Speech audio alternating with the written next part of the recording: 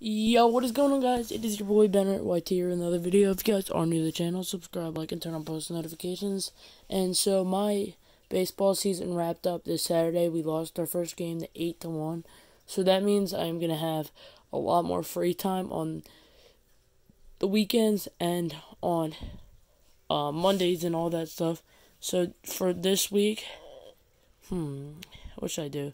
I'm gonna be trying to stream Monday Wednesday, Monday, Wednesday, Friday, and Sunday, Saturday and Sunday.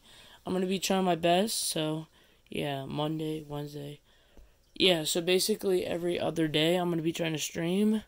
So I want you guys all to make sure you post notifications on. And can you guys help me hit 2.6, guys? We're so close, guys. So if you guys can do anything you guys can to help me hit 2.6, I would really appreciate it leave a comment if you guys made it this far in the video. Comment, save trees, and see you guys later. Enjoy your school, and I'll see you guys tomorrow.